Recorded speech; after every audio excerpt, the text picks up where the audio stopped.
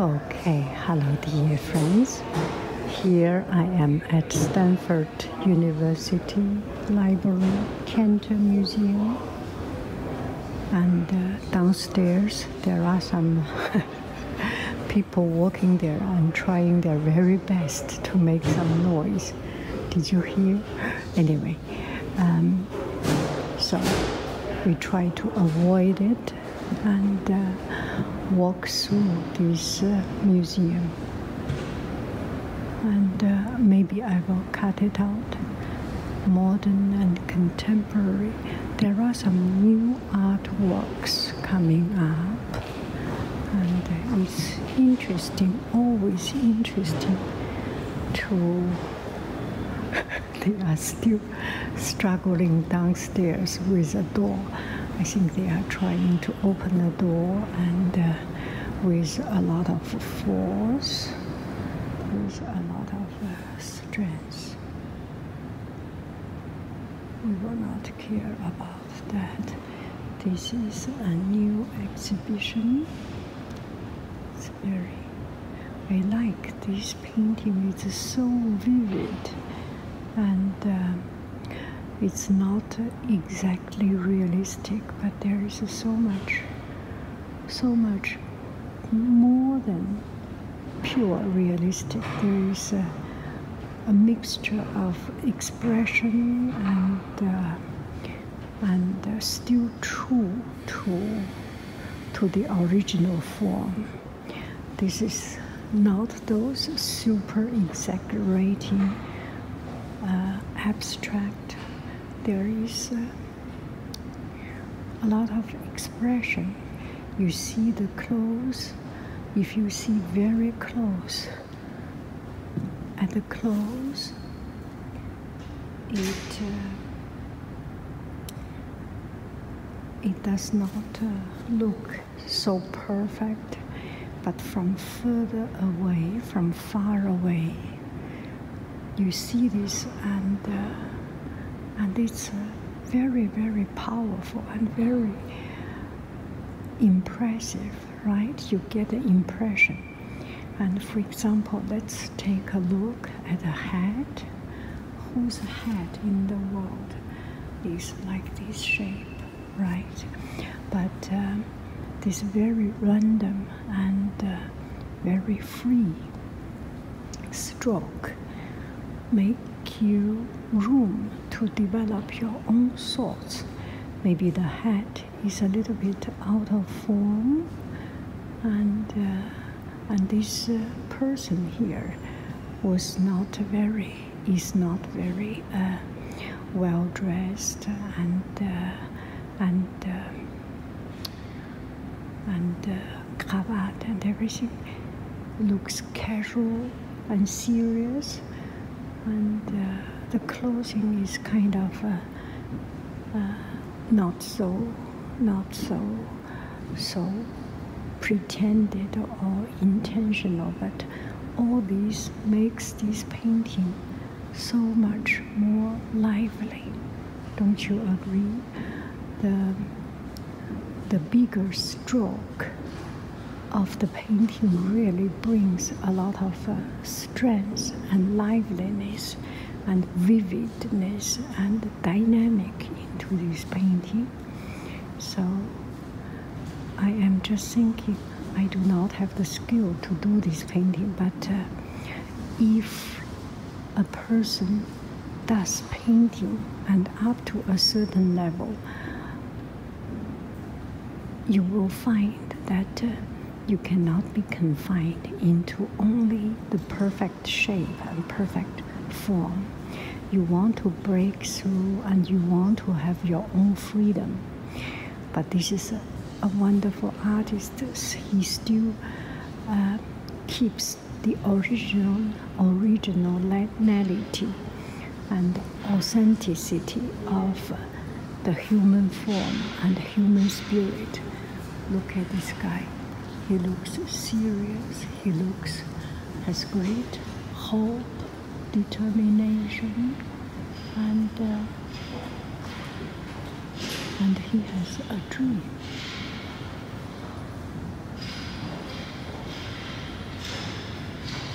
and he wants to do something. And, nothing is gonna to stop him from doing what he wants. And he has strength, he has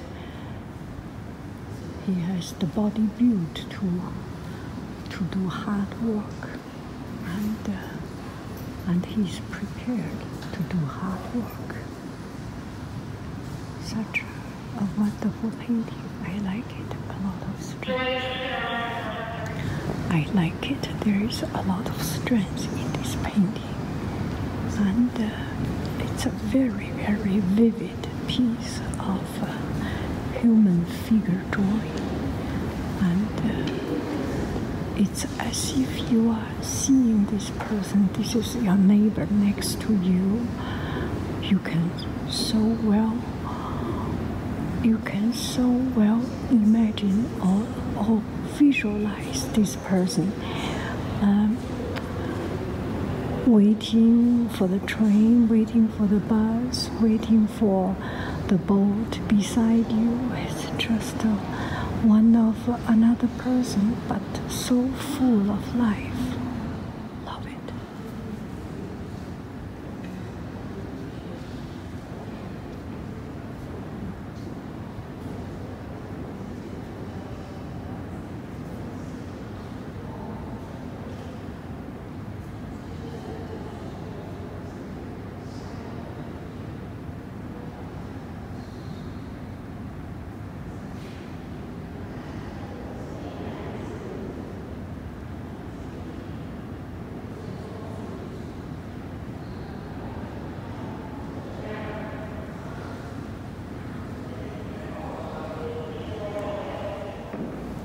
This exhibition is called Crown Under the Hammer. It's about the Soviet communism and the last dynasty of, uh, of the Romanov family, the last Tsar of uh, the Russian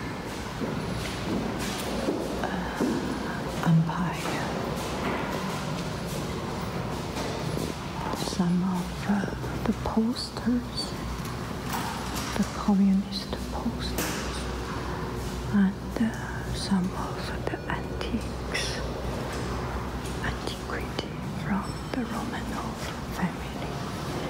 So two years ago, I went to Russia and. Uh,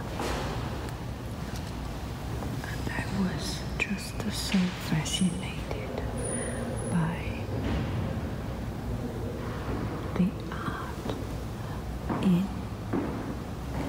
in uh, the museum in Moscow and uh, St. Petersburg, and also fascinated by the country of Russia and uh, the beauty of the art and the art, artisan craftsmanship is absolutely amazing.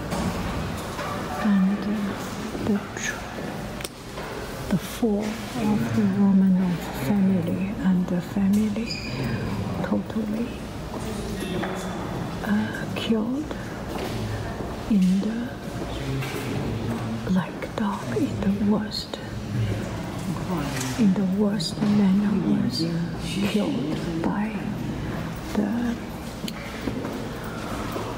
by the Bolshevik. Bolshevik. Okay, I will talk some time later.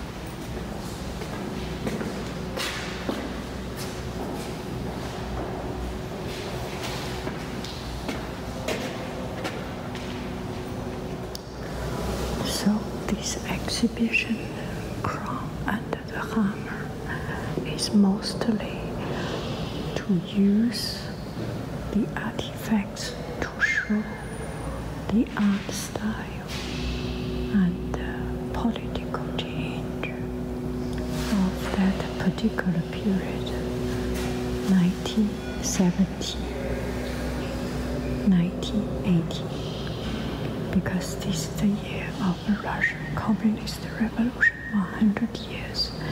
So Stanford made this exhibition just to to make an, an a recall of this piece of history.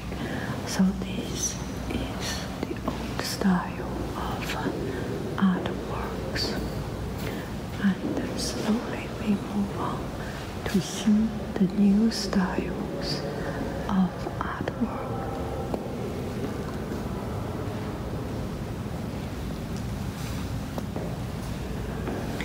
The art style and art nouveau style uh, artwork. This is the Great Imperial Crown, and if you have been to Russia, it's absolutely amazing to see the artwork and uh, the decoration, the Winter Palace, Hermitage, Hermitage, and this is Moscow. You can see this one, and this is Moscow Red Square, and another Moscow uh, Kremlin. The palace now putting works inside, uh, in there, and this is one of uh, the artists. His name is Alexander Benois, and uh, his art style, he didn't uh, comply to the new art style, so he painted uh, his memory of uh, Moscow still in the uh, St. Petersburg. He painted uh, his memory of St. Petersburg. This is that street in St. Petersburg, and uh, in the style that is very nostalgic. But the truth is that at that time, Russia already passed through the revolution, and uh, it was no longer like this. This was his dreamy, like uh, memory of St. Petersburg. And these are the new art piece from the communism. And uh, you can see a sharp difference in style and in the power of, of influence. The old art piece was for the fortunate few, and the new piece are most posters, paintings, and they are as they serve as a, a political propaganda to wake up people to show the great mass. And uh, May 1st is International Labor's Day, and this day in China we celebrate it. And I still remember all these. I feel so familiar because I was growing in that that kind of education. And this is from Communist Manifesto by Marx and Engels. Workers have nothing to lose but their chain, and they will acquire the whole world. 全是州，全世界无产者联合起来，在这场革命斗争中，无产者失去的只是锁链， 他们得到的将是全世界。We all can recite the Communist Manifesto. At least, this is one of the most powerful symbols. Anyway, So here, excuse me, it's a little bit late. People are passing by. Okay, so this one is uh, an artist. he took a sketchbook with him all the time, and uh, immediately he drew the street of uh, of uh, the Russian street immediately after what was happening. This kind of like a, a, a journal or recording, so that we can see they destroyed emperor's or picture, and people are living in pretty poor condition, waiting for food, and the streets are cold, and there was a dead horse, and people cut the dead horse to eat.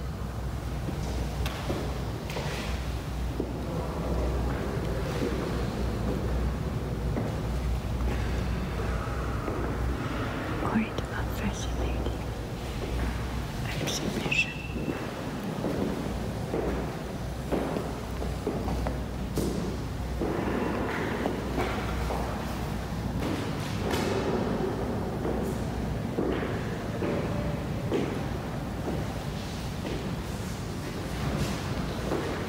To my surprise, there's no Stalin. But the Was mostly in World War II. Lenin